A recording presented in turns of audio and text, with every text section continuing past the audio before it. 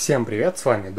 На, наконец-таки я приобрел фильм, который давно хотел купить, под названием «300 спартанцев». Вот такой диск. А, зашел в видео и как раз увидел, никогда там не было вообще в городе у себя. А нет, я видел только а, в магазине Окей, но он там стоил 590 вроде.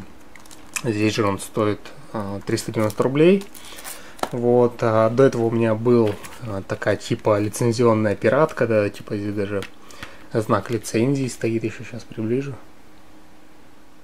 Три спартанцев плюс э, бонус, э, международная марка, лицензионная продукция, ну-ну. Вот здесь такой типа царь Леонид. И плюс тут еще дополнительно Капитан Вал 300, Апокалипсис и Новый Свет тоже три таких хороших фильма. Но брал я именно из-за вот этого фильма. Он стоил, по-моему, 100 или 150 рублей. Лицензия якобы.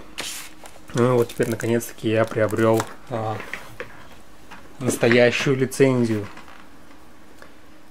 Так, что у нас изображено вот сзади здесь?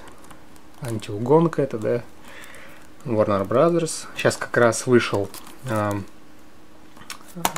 диск, а, лицензия 300 спартанцев Рассвет Империи, плюс там в стелбуке, плюс там с открытками. И также вышло издание 300 спартанцев, плюс 300 спартанцев Рассвета Империи, типа вот так на перекосы здесь изображена первая часть, здесь вторая. Ну, как бы я не хотел брать на одном диске две части, решил вот взять по отдельности, когда, может, подешевеет а вторая часть, возьму ее. Давайте вскроем. Этот фильм я смотрел уже не знаю сколько раз, даже не знаю, ну, больше пяти раз это точно, если еще не больше.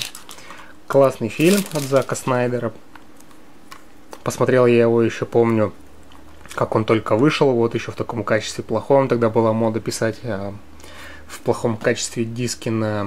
Ой, фильмы на DVD-диске, как они только выходят, там, типа ТС качество, по-моему. Вот, в плохом качестве, потом в хорошем, естественно, посмотрел.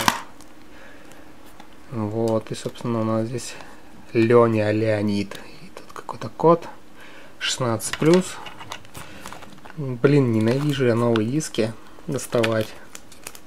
Особенно на таких длинных шпинделях.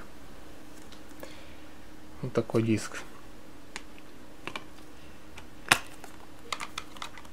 300 спартанцев. Кто не смотрел этот фильм, обязательно посмотрите, не пожалеете. Это основоположник а, как бы фильмов на зеленом экране. Он не почти а весь снят, только там пару сцен на улице снимали, а так весь снят на гринскрине.